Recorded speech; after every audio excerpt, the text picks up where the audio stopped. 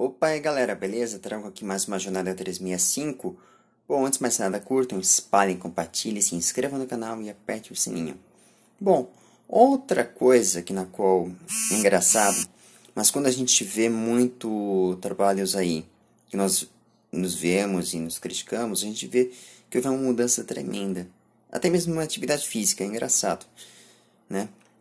Quando você faz uma atividade física, você quer adquirir um corpo perfeito, sarado, e você acaba vendo os músculos do seu corpo, e você vê antes e depois, e acaba nem se quer se satisfazendo, é verdade.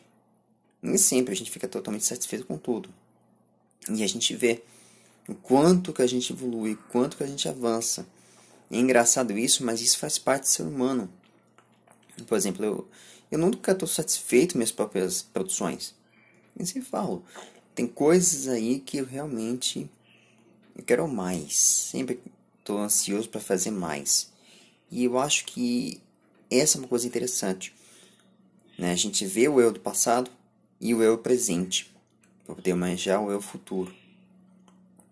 Então sempre tem isso na sua cabeça, em mente, que a gente vai estar sempre enfrentando jornadas longas, distintas, mas que são necessárias para poder a gente avançar e olhar para frente.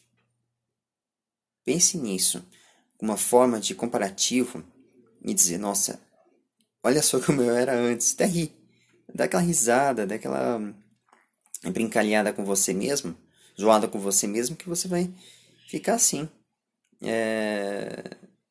surpreso, como que você menos espera. Então é isso. Um forte abraço e até a próxima.